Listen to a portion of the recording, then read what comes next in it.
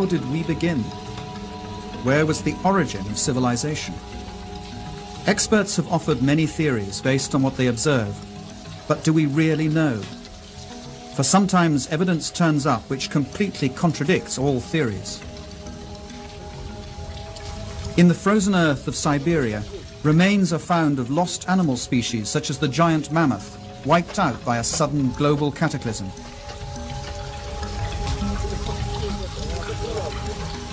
Ancient maps have been discovered which show the continent of Antarctica centuries before we discovered it. This map, which is centuries old, depicts the true configuration of Queen Maud's land, which is now under nearly a kilometer of ice, and its true configuration wasn't determined until 1949.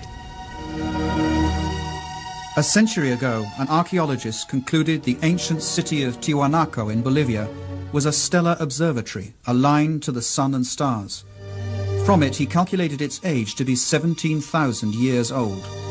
His evidence was ridiculed until recently. The only correction that I would make is that we now have better astronomical measurements due to satellites and computers.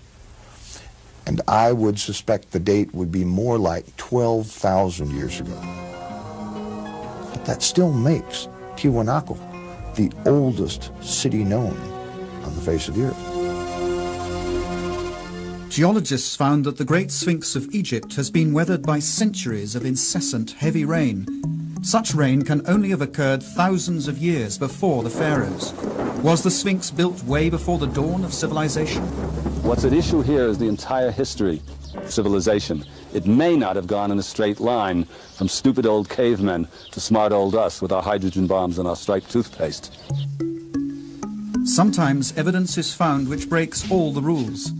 In this program, we'll meet people who are looking at precisely this evidence and chart new theories which may change our views on the course of human civilization. This huge face was carved by the ancient Olmecs of Mexico. It's believed to be at least 2,000 years old. It's quite unmistakably African, and yet Negroes are not supposed to have come to America until after the time of Columbus.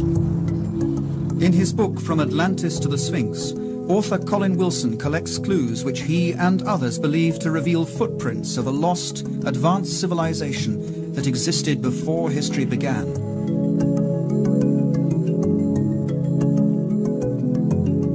Greek philosopher Plato described precisely such a civilization, which, Egyptian priests told him, sailed the oceans thousands of years earlier until it was destroyed in a huge cataclysm.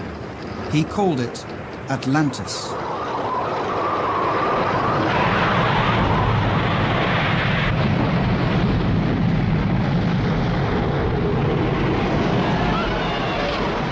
Atlantis, a huge cataclysm. We know of such a cataclysm from another myth, the biblical flood, Noah and his ark, a myth equally scorned by scientists.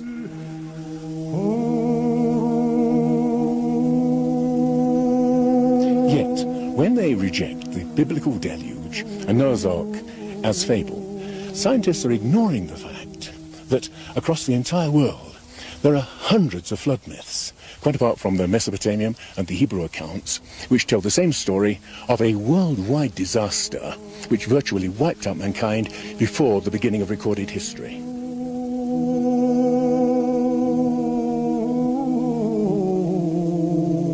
Was there really something like a flood?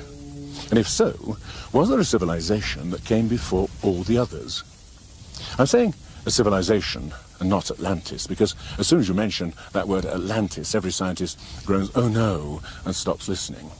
The notion of a universal flood is beyond intellectual respectability. But how unbiased is science itself? Does it really do what it claims to do? Take the facts and start from there. Throughout history, science has tended to focus more on its own theories than on the facts. From facts, a theory arises to explain them. Other facts are laid aside. New facts may change the theory, but as often they're again ignored. We call such facts anomalies, evidence which doesn't fit. In their controversial book, Forbidden Archaeology, scientists Thompson and Cremo show what happens to such evidence which contradicts the rules. Over the past 150 years, uh, these archaeologists and anthropologists have covered up as much evidence as they've dug up, literally. Basically, what you find is uh, something we call a knowledge filter. This is a fundamental feature of science, of human nature. People tend to filter out things that don't fit. So in science, you find that evidence that doesn't fit the accepted paradigm tends to be eliminated. It's not taught, it's not discussed, and people who are educated in, in scientific teachings generally don't even learn about it. What we're talking about, for example, was demonstrated in Hueyatlaco, Mexico, in 1966, when archaeologist Gene C. McIntyre threatened to overturn the conventional view that mankind is relatively new to most parts of the Earth. That he penetrated into Siberia around about 30,000 years ago, and definitely not into America until about 20,000 years ago. In Mexico, Gene Steen McIntyre uncovered stone tools and human bones and had them dated through a variety of thorough scientific tests. We thought we had an old site. This was back in 66, and we thought it was perhaps 20,000 years old, and at that time that was considered a very old age for the site. When we finally got the dates and all the different methods we used to date it, it came out to be 250,000 years old. To tell you the truth, I would have been happy with a 20,000 year old date. It would have made my career. And I was rather naive. I thought, okay, I'm just going to stick with the date. We've got the information, we got the facts, let's get the facts out and go on from there. And I didn't realize it was going to ruin my whole career. All her professional opportunities have been closed off since then. The site was closed, permission for further investigation denied, permanently. Yet earlier this year, over three decades later, archaeologists uncovered traces of human beings in Siberia dating back 300,000 years, a date which suddenly makes Gene McIntyre's find not so improbable after all. It's not necessarily a deliberate conspiracy in the sense of some people getting together in a smoke-filled room and saying, we're going to de uh, deceive people. It's something that happens automatically within the scientific community. So when a given piece of evidence disagrees with the predominant theory, then automatically people won't talk about it, they won't report it, and that means that science fails to progress in the way that one would hope.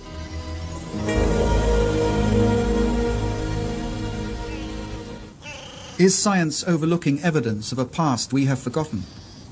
Can the myths be true which tell us there was once a civilization on this planet which was lost thousands of years before recorded history began? A new brand of researchers is looking at precisely the anomalies science tends to discard. They ask questions which may change our views on the course of human history. The Inca fortress of Sacsayhuaman, of indeterminable age, and built by a people who had no hard metal tools or cement, and knew neither pulley, wheel, nor crane.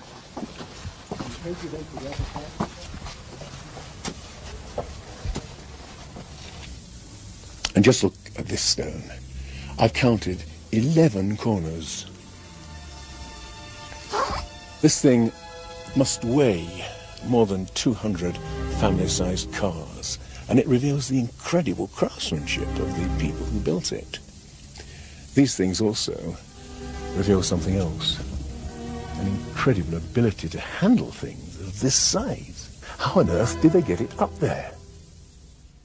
Bolivia, the ancient mysterious ruins of Tiwanaku, similar craftsmanship advanced building capabilities which are unexplained. The facing stones of this site are perfectly set with no mortar. We took a needle, and that needle we tried to insert at every point along the joint, and the needle couldn't be inserted. A perfect fit. When the Spanish conquerors asked the Incas whether they'd built Tiwanaku, the Incas said, no, we didn't build it. It was built thousands of years before us. Now, the evidence shows it was built by an advanced civilization. And a chance discovery reveals just how advanced they may have been. The building blocks of Tiwanaku aren't held together by cement. Whoever takes them apart discovers the unexpected glint of metal holding the stones together. What I find amazing here is that to move to each site where the staple was needed, they had to have something like a portable smelting plant to maintain this metal in a molten state. And here, a similar use of metal joints and stone finely jointed like this L shape here with the same ingenuity. Peru? No, we're a continent away, in Africa. Egypt, land of the pyramids. The three pyramids of Giza, wonder of the ancient world. The triumph of another people who knew neither wheel, pulley, nor crane. How were they able to haul a hundred-ton building blocks up so high? A feat modern technology can neither explain nor imitate. I'm an engineer and I can tell you that to raise blocks of this size to such heights requires a special crane. Now, for people who did not have that sort of machines, not even the simplest pulley or the wheel, and using simple copper tools, how could they do this? Bauval believes the Great Pyramid of Giza was much more than a tomb, and that it betrays an unexpectedly high level of technology. In their book, Keeper of Genesis, Robert Bauval and co-author Graham Hancock list many unexplained feats. Drilling expert Chris Dunn. This is an incredible piece of work and a mystery. How did they do it? The sarcophagus in the king's chamber. How did primitive builders make the inner contents match the contents of the stone sarcophagus itself down to the cubic millimeter? A feat requiring a sophisticated knowledge of physics. A mystery just like the actual drilling itself.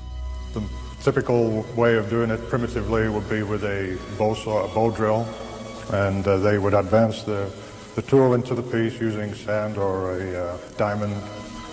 And to me, that would just take too, too long, too many years to do this. But how do you think they did it? I think that they had to have used some power tool. Uh, today, if we were to drill this, we would advance the drill into the granite at a rate of two ten thousandths of an inch per revolution of the drill. They were advancing a lot faster than that. Faster? Researchers such as Chris Dunn wonder about the purpose of this strange instrument on a hidden frieze. But power drills? That seems a rash conclusion. Yet traces of high-speed drilling present unsolved mysteries. Now, just look at this. The incredible precision of workmanship, the total smoothness of these walls. In this tomb, which is intended for sacred bulls, which testifies to the tremendous level of craftsmanship of these people. And of course, that could be explained in terms of 100 workmen polishing away for 10 years. But how about a real mystery? The mystery of the Egyptian vases. Not like this clay vase, which I've just bought, but vases of alabaster, uh, basalt, even diorite, which is the hardest stone of all. Now, the mystery is this. It's easy enough to see how you could hollow it up by drilling straight down inside. But what about these pieces around the corners? Modern technology is unable to do it. And yet, the ancient Egyptians fashioned thousands of these things, some of them 2,000 years before civilization is supposed to have started here. How? The mystery is still unexplained. Unexplained. How could the builders align their gigantic pyramids to the cardinal directions so impeccably? Perfectly east-west and perfectly north-south, with a precision unmatched by modern builders. The Great Pyramid seems to be a mathematical model of the Northern Hemisphere and incorporates the transcendental value of pi, the ratio of a sphere's diameter to its circumference, the basis of higher mathematics.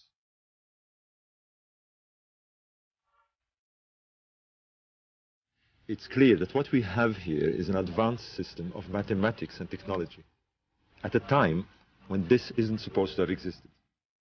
And to achieve these results, the ancient builders had to use a slope of 52 degrees. Any other slope just wouldn't work. But it was not only the Egyptians who knew pi. That transcendental value is also represented in the slope of this pyramid and the strange angle its builders gave them at Teotihuacan in Mexico, the city later generations of awed Indians would call the City of the Gods.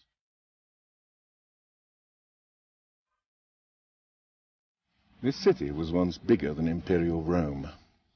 What you can see here are a series of basins that were once filled with water, whose smooth mirror-like surface reflected the heavens, and also whose ripples would serve as some kind of earthquake warning.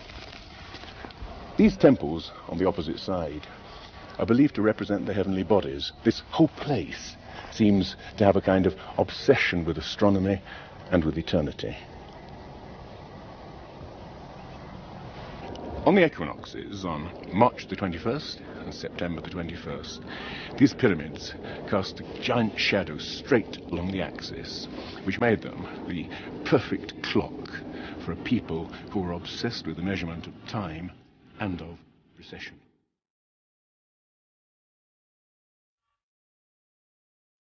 As if tapping some common source, ancient civilizations around the world display sophisticated knowledge of the heavens, which has yet to be explained. A fascination for the sun and stars and for precession, the slow, relentless movement of the earth, which make the constellations seem to travel through the night skies and epochs.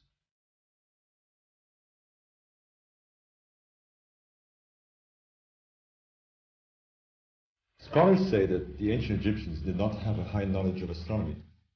But here is evidence of their fascination and sophisticated knowledge of the sky. Look at the zodiac constellations Leo, Taurus, Pisces, and here the constellation of Orion. Bauval believes astronomy is a key to the many mysteries of the pyramids of Giza. Ancient Egyptians saw the constellation of Orion as their god Osiris, lord of the dead, the night skies, and the afterlife. Bauval found the god in evidence all over the Giza pyramids. This is the real mystery. Small shafts leading upward, no more than ventilation shafts to Egyptologists, but astronomers thought differently. To ancient Egypt, this was Rostau, gateway to the netherworld, kingdom of the god Osiris, or Orion. To the ancient Egyptian, Orion was Osiris, the high god of resurrection.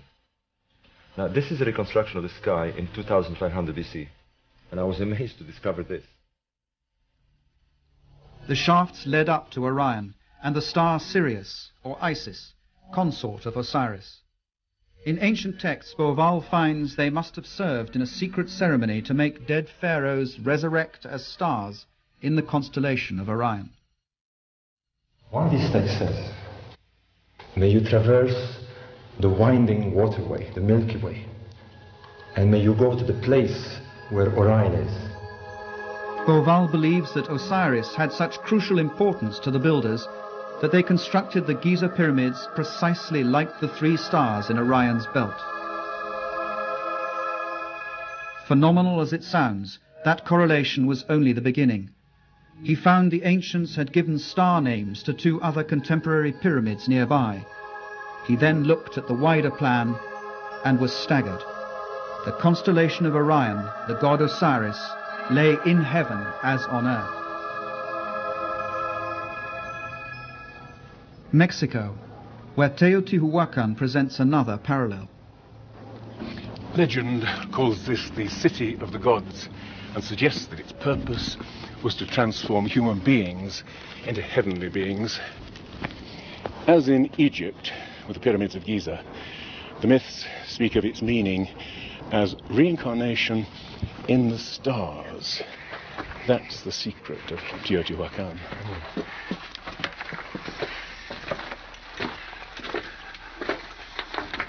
But an even greater enigma lies in the pyramid up above me. When it was first excavated in 1906, they discovered an enormous sheet of mica. Now, we know that mica is used in electrical insulation, but we've no idea what they wanted to use it for. What makes it even stranger is that the mica came from Brazil. Imagine the problem of moving a 90 foot square sheet of mica 2,000 miles. How? And for what purpose? We've simply no idea. Tiwanaku, Bolivia. Another lost culture betraying that same fascination with the sun and stars. A hundred years ago, Bolivian archaeologist Posnansky observed that on the first day of spring, the sun rose exactly through the center of the temple. It was the starting point of a remarkable discovery. Posnansky found they built this temple as an observatory, a huge clock to measure the progression of the sun. And we can use these astronomical alignments to date this site. Throughout the year, the sun rises in a different spot on the horizon. On the first day of spring, an observer would see the sun rise exactly in the center. By studying the layout of the complex, Posnansky deduced that on the first days of winter or summer, the sun would rise above the cornerstones. But it didn't. Archaeologists today say it's simply because the builders made an error in construction. After observing the perfection with which this site is built, with 100-ton stones, to suggest that such things as the solstice markers are misaligned, I find incredible. Niels Steede made a thorough check of Posnansky's calculations. By measuring the angle of the cornerstones and comparing that angle with today's sunrise positions, Posnansky was able to calculate that Tiwanaku was built 17,000 years ago.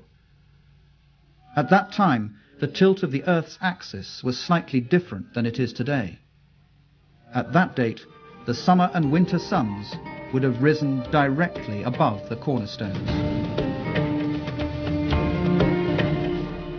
I would suspect the date would be more like 12,000 years ago.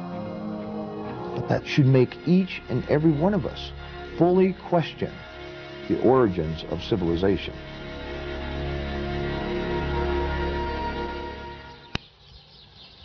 Did a civilization lost in time leave its fingerprints in various places in the world? Egyptian priests told the Greek philosopher Plato of such a civilization which had existed 12,000 years ago. But according to science, mankind emerged from the Stone Age some 5,000 years ago. Could man have made that climb before? In Egypt, investigator John West found that the Sphinx of Giza wasn't weathered in the same way as its surroundings, eroded by sand and desert winds. Instead of horizontal weathering, the Sphinx shows rounded, undulating marks of erosion. You don't even have to be a geologist to look at it and see what must have been responsible for that kind of weathering. Only water pouring in sheets over the enclosure wall could have produced those rounded contours.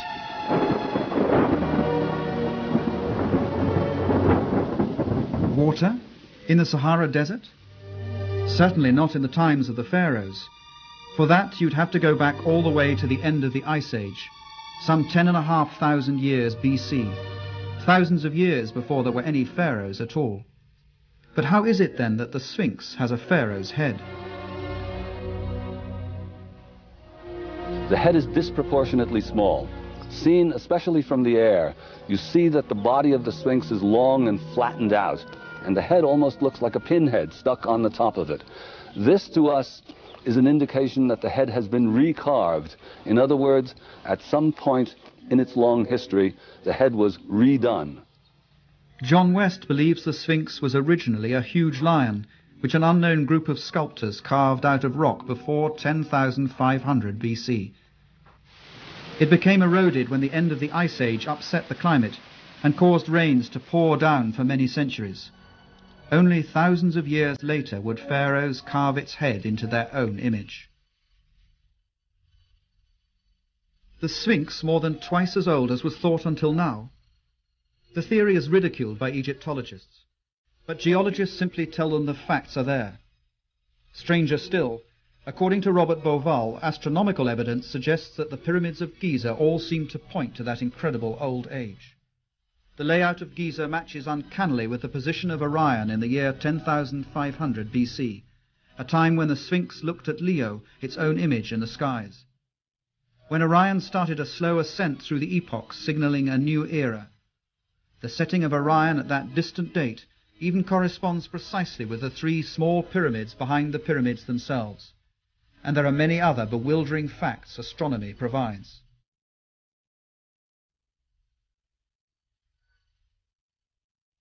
And this matches exactly with the analysis of the Sphinx. So there are two hard sciences now indicating that the Sphinx could be going back to 10,500 BC. Egypt experienced major and dramatic changes at the end of the Ice Age, particularly about 10,500 BC, uh, when very high, exceptionally high floods uh, covered the floodplain, and it uh, ended uh, things both in the Delta and the Nile Valley in general. 10,500 BC, a time of floods. Could the designers of Giza point back to that distant time? The time their myths say that the god Osiris and his helpers ascended from chaos to bring first fruits of civilization. Where did they come from?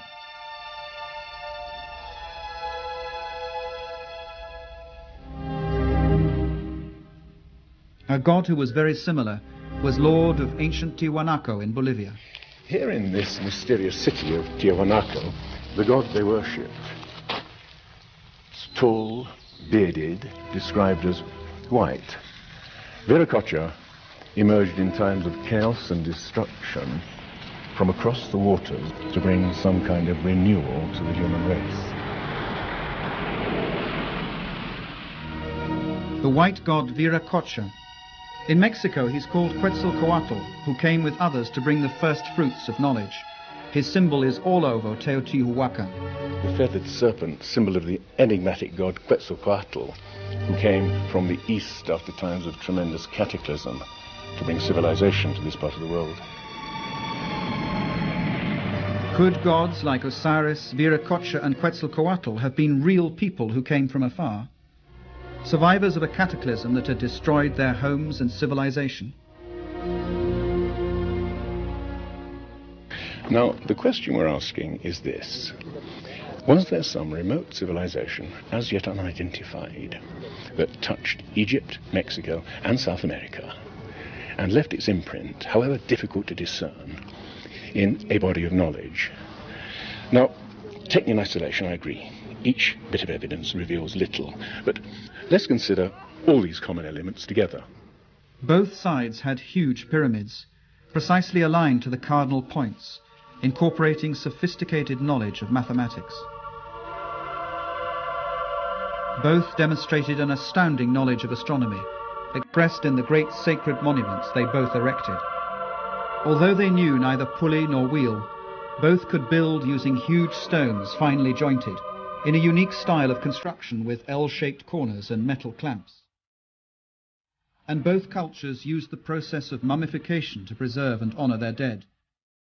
Here a new astounding clue was found when Dr. Balabanova of the German University of Ulm discovered to her surprise that many mummies from Egypt contained cocaine and nicotine, indigenous to South America.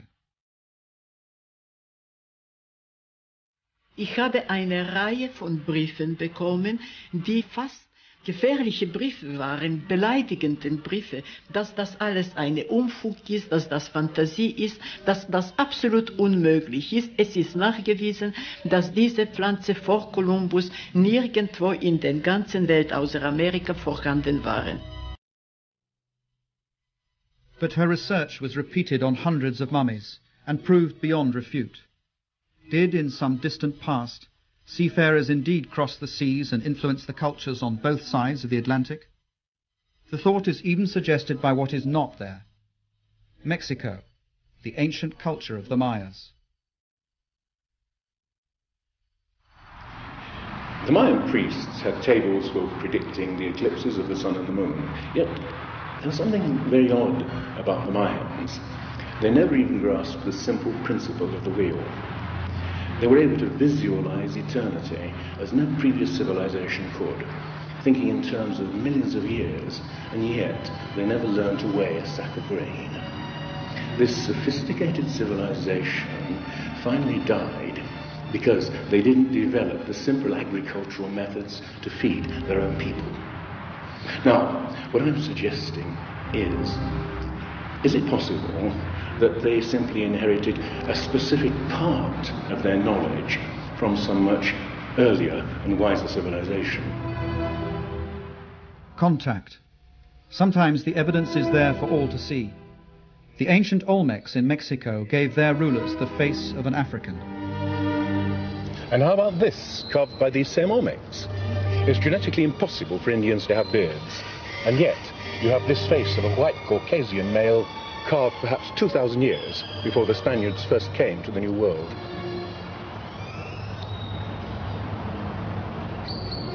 So, faces of Africans and Caucasians carved many centuries before Columbus. Where did they come from? How did they get here? How did they come to influence the most ancient culture of Central America, the mother culture of Mexico?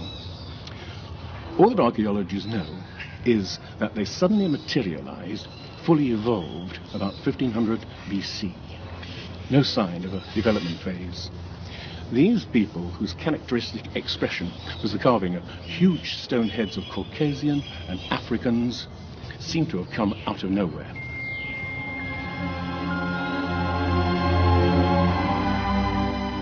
Oaxaca, the ancient citadel of Monte Alban. Here, further to the south in Mexico, is what seems to be the last record of these mysterious men. These figures carved in stone seem to represent men who have been slain in battle, naked, forlorn, most of them castrated. This may be the point where these men disappear from history.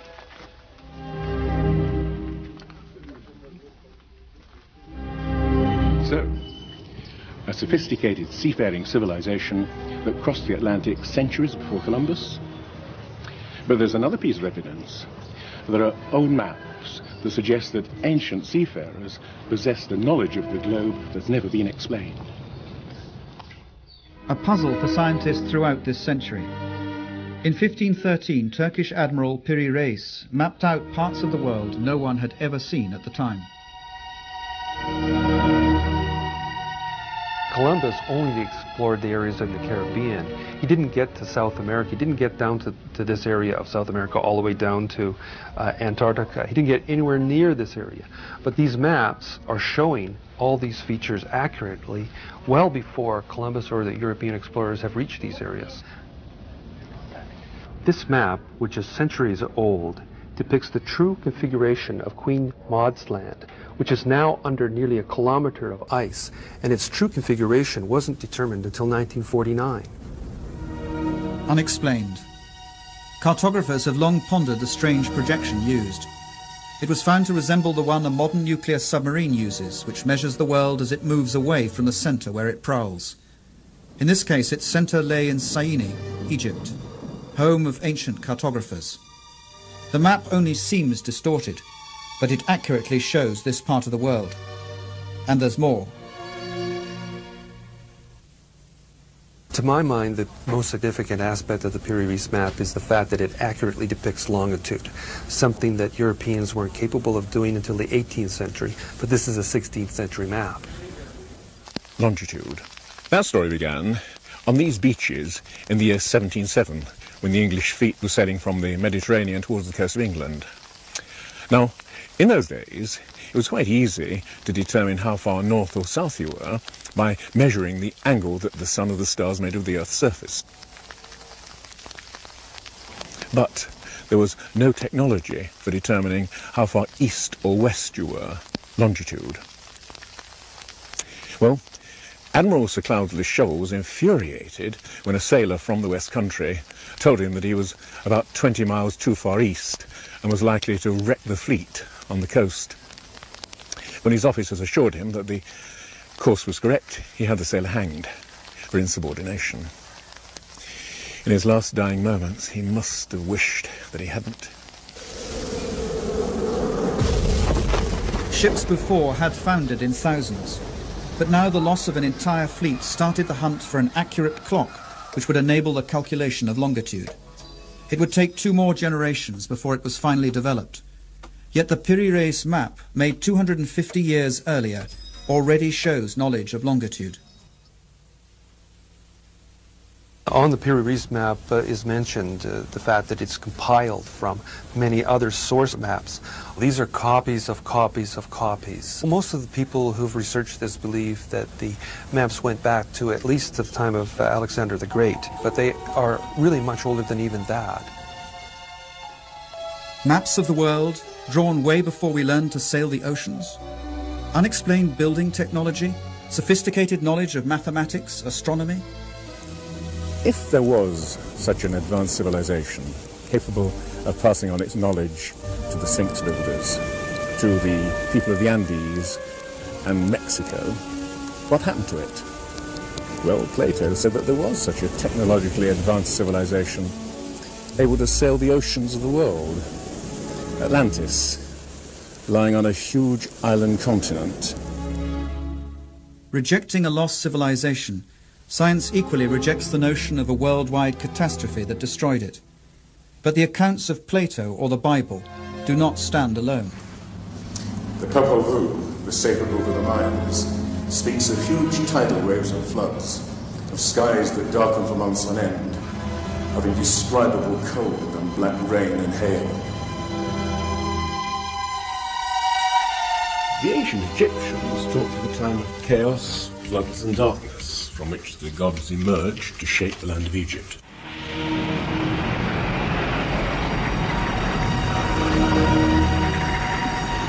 The sun disk of the Aztec speaks of four cycles of destruction by flood, by fire, by wind, and by blood and war, and foresees the end of the world by upheaval from the bowels of the earth.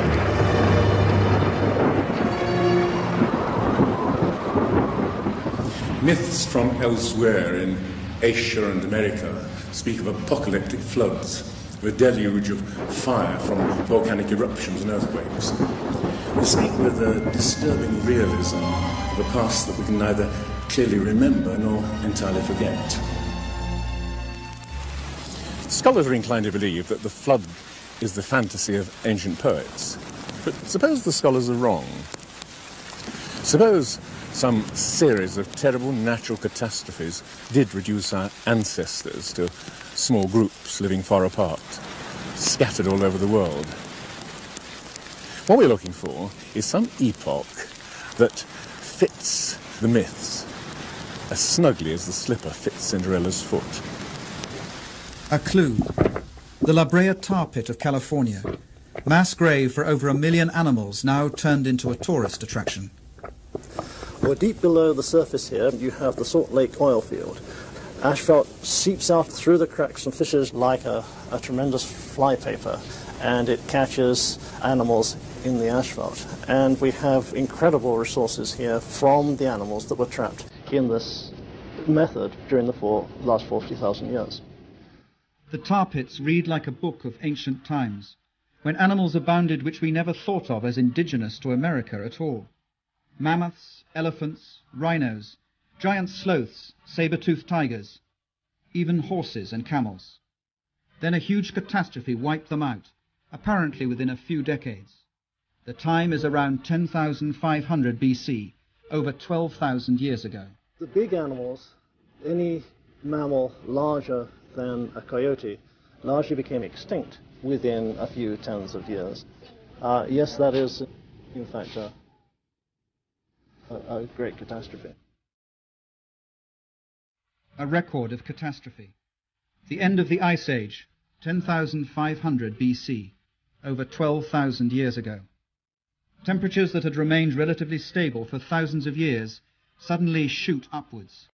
A staggering increase of over five degrees in the twinkling of an eye, a period of three to ten years only. That is the amazing discovery of scientists who drilled into Greenland's ice cap to investigate changes in the atmosphere. This Greenland ice core, some people have called it the Rosetta Stone of climate, because to be able to see that climate can shift so quickly was really a major find. And that change occurred over maybe three years to only a couple of decades, close to what we see today. We found phenomenal changes in the chemistry of the ice. We found that during the period when the ice sheets were starting to melt away, that we have more signals of volcanic deposition and of greater magnitude, greater concentrations than at any other time over the last 110,000 years that we've measured. Unprecedented volcanic upheaval coupled with atmospheric turmoil and huge floods. For as ice sheets over a mile thick melted within decades, sea level shot up by 4,500 feet. Suddenly seas appeared where land had been.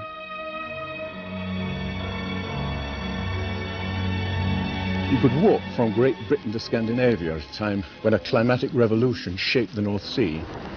It was a time when great floods covered the plains of North America so that the skeletons of whales were found in Michigan. A time of cataclysm at the end of the Ice Age, which may fit the myth. In the New World alone, about 70 kinds of animals became extinct. Saber-toothed cats, mammoths, giant sloths, horses, camels. Let me just put that in perspective. Over the previous 200,000 years, less than one third of that number had become extinct. And that same extraordinary pattern of extinction was repeated over Europe and Asia. In the permafrost of Siberia and Alaska, tangled masses of bones are found of millions of animals which perished in a cataclysm. The giant mammoth didn't fall victim to the hunters of prehistory. He was felled by natural catastrophe.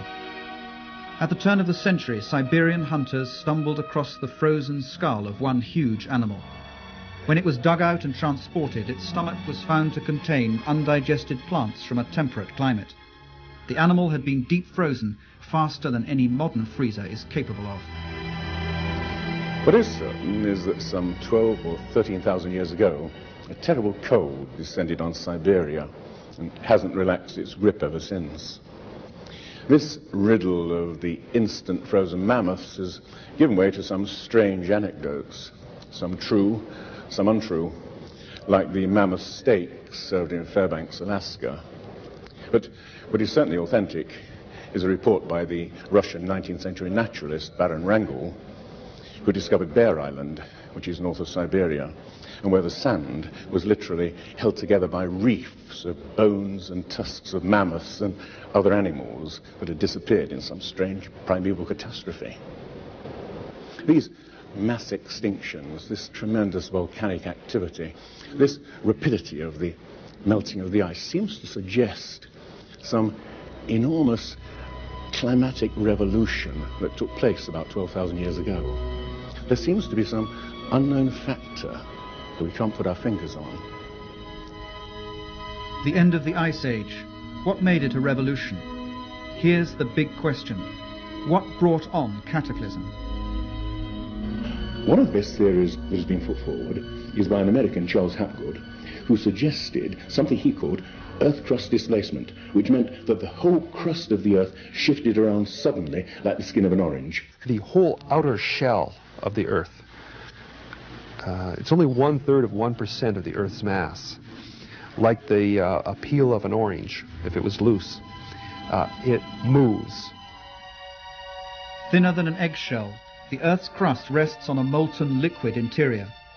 The ruling theory on the Earth's crust is that of plate tectonics, continents slowly drifting apart over hundreds of millions of years, though science scorned the theory for over half a century. It now equally scorns the notion that the Earth's crust could move as a whole, and suddenly. But one scientist was mesmerized by the idea. Had he lived longer, Earth crust displacement would have been considered more seriously. His name was Albert Einstein. This is a summary of what he said. When I came across Hapgood's work, I was electrified. Uh, here was an idea that was simple, but could explain a whole range of problems. Hapgood had the theory. The question was, what was the mechanism that set this whole gigantic thing in motion? And it was Einstein who came up with the suggestion. The enormous amount of ice that builds up around the poles can become two miles thick, ice that extended right into the middle of the continent of America. And these billions, countless billion tons of ice, if they formed in an imbalanced way, would cause the Earth, as it were, to judder like a wheel with a great weight placed on its rim. This judder would in fact be sufficient to cause that switching of the crust of the Earth. 55,000 years ago, the North Pole lay close to Europe, but suddenly swept to Hudson Bay in Canada. And around 12,500 BC, it suddenly shifted again, almost 2,000 miles to where it lies now. Or is it better to say the lands and seas have been swept across the pole, propelled by a sudden displacement of the Earth's crust? If so, this is one of the things which would have happened at the end of the Ice Age. The displacement propelled America out of the polar zone. The sea to the north of it froze over with a thin sheet only meters thick. The huge old ice sheet over North America, more than a mile thick, suddenly melted in a matter of years. Now, what's so interesting about the Hapgood-Einstein theory is that it also explains all kinds of other myths quite apart from the myths of flood. There are myths of tremendous earthquakes, and volcanic catastrophes, black rain falling from the sky, sudden freeze-ups of whole lands.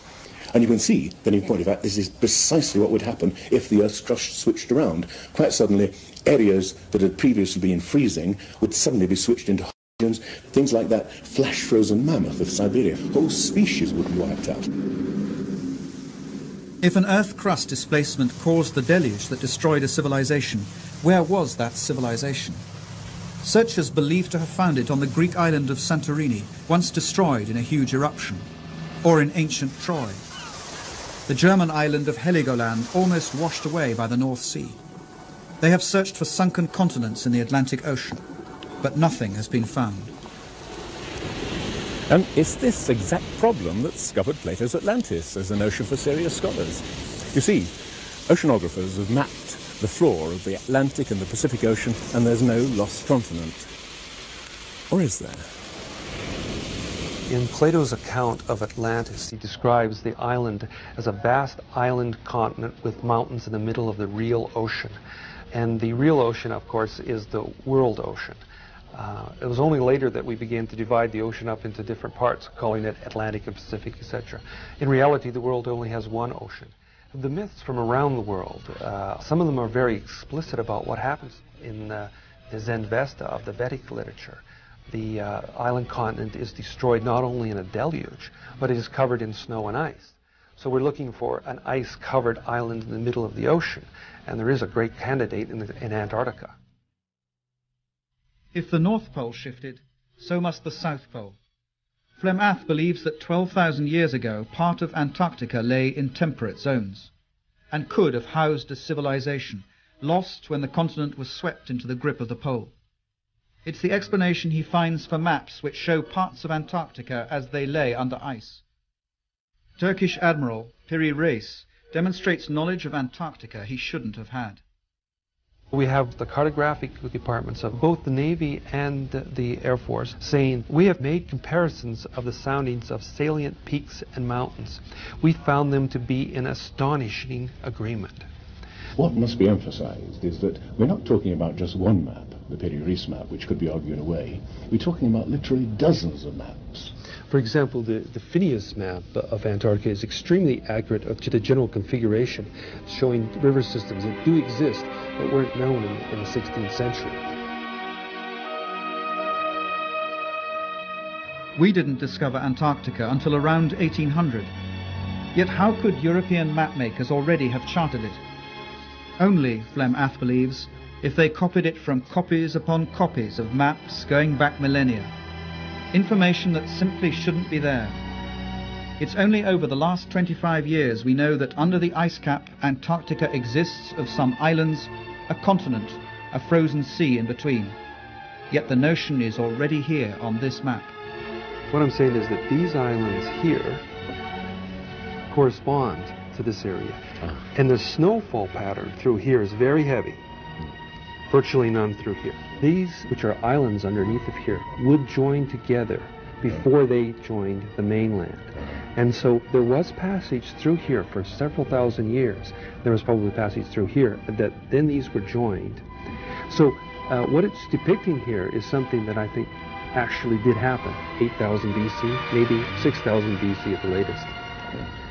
Yeah. We have no way of knowing how that came about except by postulating the existence of a civilization that had some sort of uh, navigational and topographical skills that uh, were only reinvented in our own time. So, were the beginnings of human civilization more remote than we supposed? You may feel that many elements in this program amount to wild guesses, which, taken in isolation, can all be argued away. What I'm suggesting is that if you put these pieces all together like the pieces of a jigsaw puzzle, you begin to see the emergence of a pattern, like a shape emerging from the mist. A civilization that vanished and was forgotten long before recorded history began.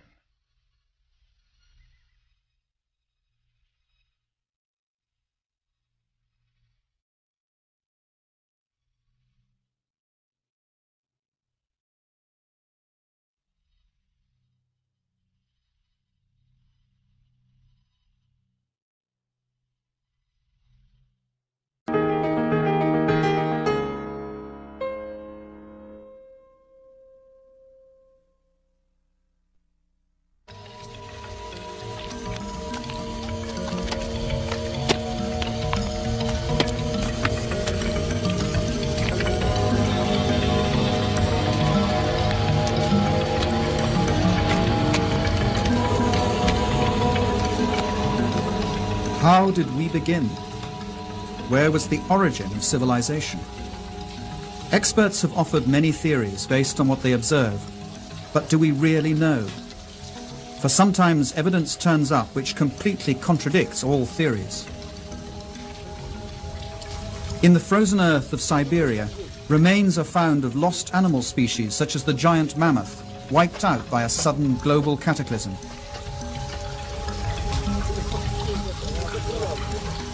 Ancient maps have been discovered which show the continent of Antarctica centuries before we discovered it.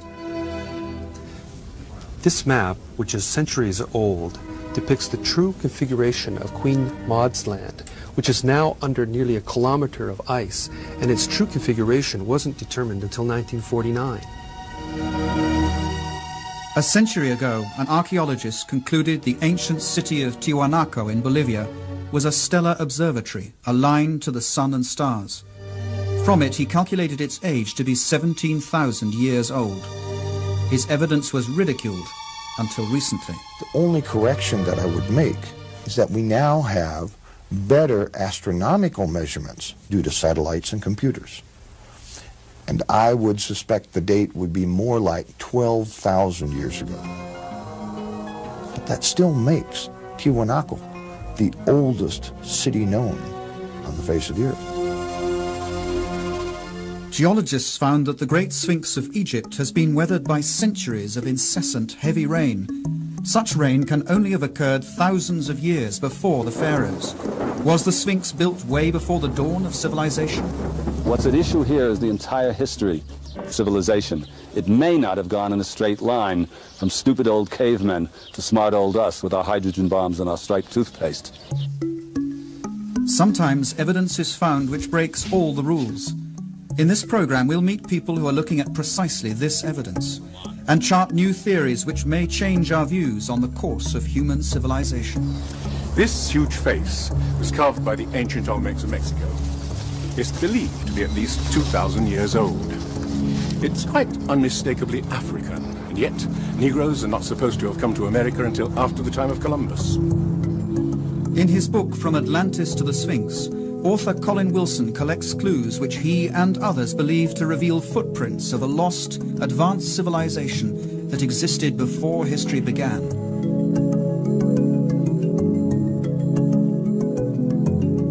Greek philosopher Plato described precisely such a civilization, which, Egyptian priests told him, sailed the oceans thousands of years earlier until it was destroyed in a huge cataclysm.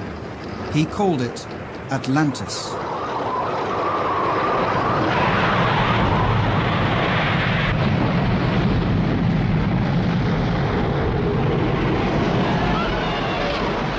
Atlantis, a huge cataclysm. We know of such a cataclysm from another myth, the biblical flood, Noah and his ark, a myth equally scorned by scientists.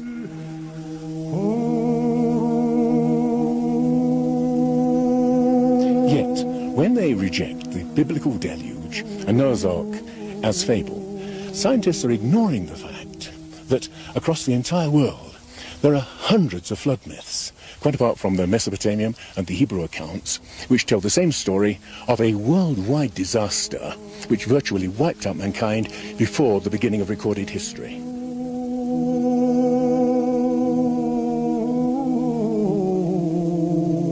Was there really something like a flood? And if so, was there a civilization that came before all the others? I'm saying a civilization and not Atlantis, because as soon as you mention that word Atlantis, every scientist groans, oh no, and stops listening. The notion of a universal flood is beyond intellectual respectability. But how unbiased is science itself? Does it really do what it claims to do? Take the facts and start from there. Throughout history, science has tended to focus more on its own theories than on the facts. From facts, a theory arises to explain them. Other facts are laid aside. New facts may change the theory, but as often they're again ignored. We call such facts anomalies, evidence which doesn't fit. In their controversial book, Forbidden Archaeology, Scientists Thompson and Cremo show what happens to such evidence which contradicts the rules. Over the past 150 years, uh, these archaeologists and anthropologists have covered up as much evidence as they've dug up, literally. Basically what you find is uh, something we call a knowledge filter. This is a fundamental feature of science, of human nature. People tend to filter out things that don't fit. So in science, you find that evidence that doesn't fit the accepted paradigm tends to be eliminated. It's not taught, it's not discussed, and people who are educated in, in scientific teachings generally don't even learn about it. What we're talking about, for example, was demonstrated in Hueyatlaco, Mexico, in 1966, when archaeologist Gene C. McIntyre threatened to overturn the conventional view that mankind is relatively new to most parts of the Earth. That he penetrated into Siberia around about 30,000 years ago, and definitely not into America until about 20,000 years ago.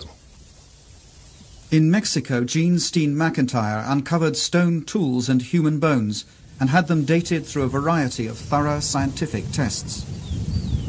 We thought we had an old site. This was back in 66, and we thought it was perhaps 20,000 years old, and at that time, that was considered a very old age for the site. When we finally got the dates and all the different methods we used to date it, it came out to be 250,000 years old. To tell you the truth, I would have been happy with a 20,000 year old date. It would have made my career. And I was rather naive. I thought, okay, I'm just going to stick with the date. We've got the information, We've got the facts, let's get the facts out and go on from there. And I didn't realize it was going to ruin my whole career. All her professional opportunities have been closed off since then. The site was closed, permission for further investigation denied, permanently. Yet earlier this year, over three decades later, archaeologists uncovered traces of human beings in Siberia dating back 300,000 years, a date which suddenly makes Gene McIntyre's find not so improbable after all. It's not necessarily a deliberate conspiracy in the sense of some people getting together in a smoke-filled room and saying, we're going to de uh, deceive people. It's something that happens automatically within the scientific community. So when a given piece of evidence disagrees with the predominant theory, then automatically people won't talk about it, they won't report it, and that means that science fails to progress in the way that one would hope.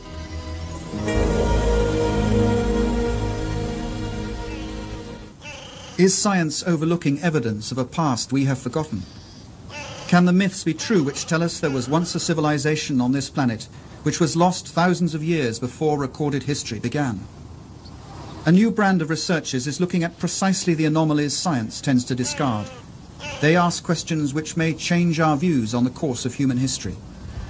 The Inca fortress of Sacsayhuaman, of indeterminable age, and built by a people who had no hard metal tools or cement, and knew neither pulley, wheel, nor crane.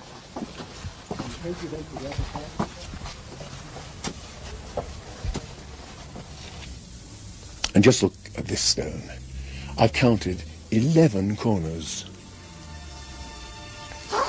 This thing must weigh more than 200 family-sized cars, and it reveals the incredible craftsmanship of the people who built it. These things also reveal something else, an incredible ability to handle things of this size. How on earth did they get it up there? Bolivia, the ancient mysterious ruins of Tiwanaku. Similar craftsmanship, advanced building capabilities which are unexplained. The facing stones of this site are perfectly set with no mortar. We took a needle, and that needle we tried to insert at every point along the joint, and the needle couldn't be inserted. A perfect fit. When the Spanish conquerors asked the Incas whether they'd built Tiwanaku, the Incas said, no, we didn't build it. It was built thousands of years before us. Now, the evidence shows it was built by an advanced civilization. A chance discovery reveals just how advanced they may have been. The building blocks of Tiwanaku aren't held together by cement.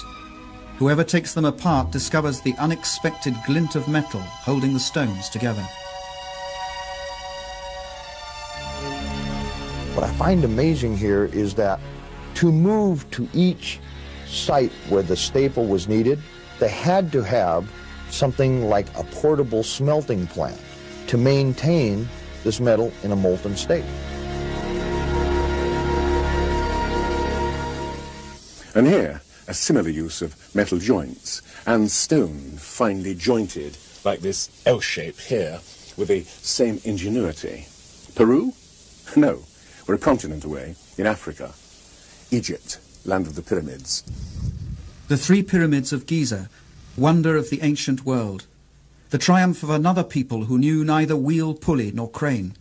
How were they able to haul a hundred-ton building blocks up so high? A feat modern technology can neither explain nor imitate. I'm an engineer and I can tell you that to raise blocks of this size to such heights requires a special crane. Now, for people who did not have that sort of machines, not even the simplest pulley or the wheel, and using simple copper tools, how could they do this? Bauval believes the Great Pyramid of Giza was much more than a tomb, and that it betrays an unexpectedly high level of technology. In their book, Keeper of Genesis, Robert Bauval and co-author Graham Hancock list many unexplained feats. Drilling expert Chris Dunn. This is an incredible piece of work and a mystery. How did they do it? The sarcophagus in the king's chamber. How did primitive builders make the inner contents match the contents of the stone sarcophagus itself, down to the cubic millimeter? A feat requiring a sophisticated knowledge of physics, a mystery just like the actual drilling itself. The typical way of doing it primitively would be with a bow saw, a bow drill, and uh, they would advance the, the tool into the piece using sand or a uh, diamond. And to me, that would just take too, too long, too many years to do this. But how do you think they did it? I think that they had to have used some power tool. Uh, today, if we were to drill this, we would advance the drill into the granite at a rate of two ten thousandths of an inch per revolution of the drill. They were advancing a lot faster than that. Faster? Researchers such as Chris Dunn wonder about the purpose of this strange instrument on a hidden frieze. But power drills? That seems a rash conclusion. Yet traces of high-speed drilling present unsolved mysteries. Now, just look at this. The incredible precision of workmanship, the total smoothness of these walls. In this tomb, which is intended for sacred bulls, which testifies to the tremendous level of craftsmanship of these people.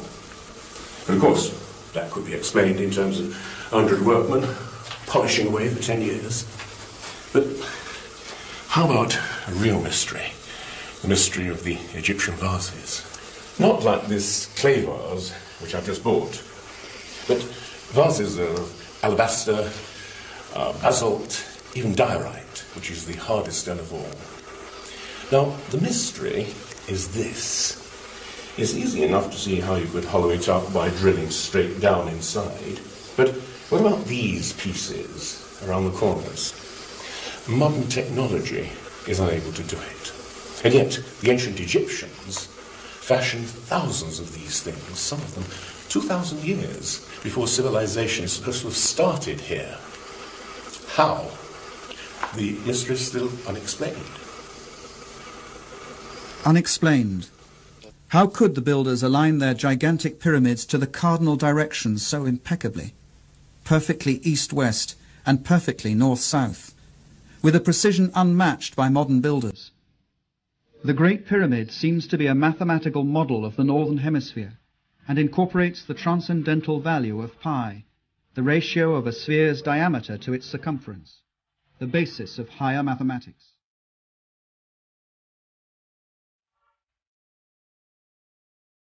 It's clear that what we have here is an advanced system of mathematics and technology at a time when this isn't supposed to have existed. And to achieve these results, the ancient builders had to use a slope of 52 degrees. Any other slope just wouldn't work. But it was not only the Egyptians who knew pi. That transcendental value is also represented in the slope of this pyramid and the strange angle its builders gave them at Teotihuacan in Mexico, the city later generations of awed Indians would call the city of the gods.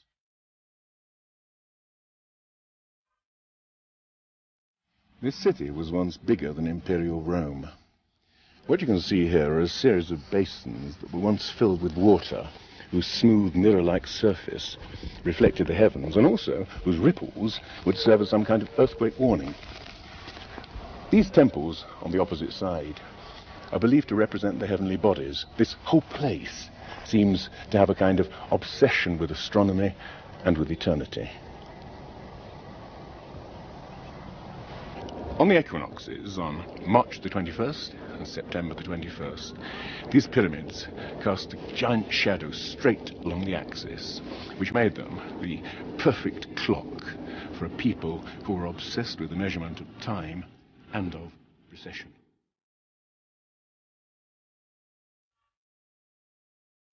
As if tapping some common source, ancient civilizations around the world display sophisticated knowledge of the heavens, which has yet to be explained.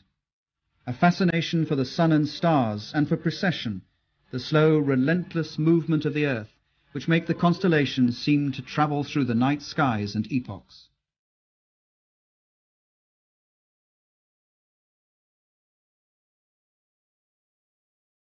Scholars say that the ancient Egyptians did not have a high knowledge of astronomy. But here is evidence of their fascination and sophisticated knowledge of the sky. Look at the zodiac constellations Leo, Taurus, Pisces, and here the constellation of Orion. Bauval believes astronomy is a key to the many mysteries of the pyramids of Giza. Ancient Egyptians saw the constellation of Orion as their god Osiris, lord of the dead, the night skies, and the afterlife. Bauval found the god in evidence all over the Giza pyramids. This is the real mystery. Small shafts leading upward, no more than ventilation shafts to Egyptologists, but astronomers thought differently. To ancient Egypt, this was Rostau, gateway to the netherworld, kingdom of the god Osiris, or Orion. To the ancient Egyptian, Orion was Osiris, the high god of resurrection. Now, this is a reconstruction of the sky in 2500 BC, and I was amazed to discover this. The shafts led up to Orion and the star Sirius, or Isis, consort of Osiris. In ancient texts, Bauval finds they must have served in a secret ceremony to make dead pharaohs resurrect as stars in the constellation of Orion. One of these texts says, May you traverse the winding waterway, the Milky Way, and may you go to the place where Orion is. Bauval believes that Osiris had such crucial importance to the builders that they constructed the Giza pyramids precisely like the three stars in Orion's belt. Phenomenal as it sounds, that correlation was only the beginning. He found the ancients had given star names to two other contemporary pyramids nearby. He then looked at the wider plan and was staggered. The constellation of Orion, the god Osiris, lay in heaven as on earth. Mexico, where Teotihuacan presents another parallel. Legend calls this the city of the gods and suggests that its purpose was to transform human beings into heavenly beings. As in Egypt, with the pyramids of Giza, the myths speak of its meaning as reincarnation in the stars. That's the secret of Teotihuacan.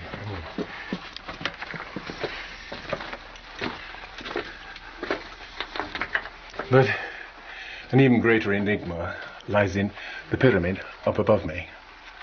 When it was first excavated in 1906, they discovered an enormous sheet of mica.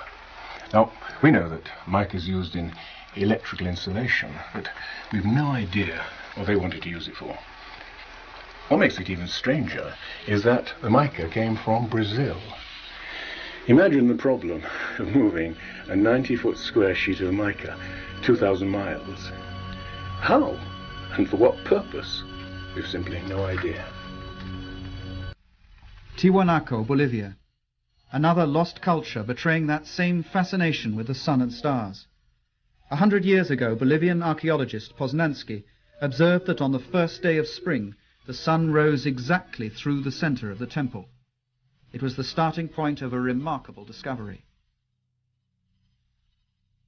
Posnansky found they built this temple as an observatory, a huge clock to measure the progression of the sun. And we can use these astronomical alignments to date this site. Throughout the year, the sun rises in a different spot on the horizon. On the first day of spring, an observer would see the sun rise exactly in the center. By studying the layout of the complex, Posnansky deduced that on the first days of winter or summer, the sun would rise above the cornerstones. But it didn't.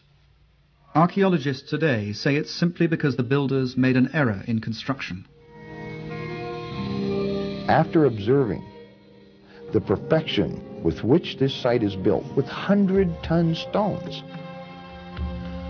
to suggest that such things as the solstice markers are misaligned, I find incredible. Neil Steede made a thorough check of Posnansky's calculations. By measuring the angle of the cornerstones and comparing that angle with today's sunrise positions, Posnansky was able to calculate that Tiwanaku was built 17,000 years ago. At that time, the tilt of the Earth's axis was slightly different than it is today. At that date, the summer and winter suns would have risen directly above the cornerstones. I would suspect the date would be more like 12,000 years ago. That should make each and every one of us fully question the origins of civilization.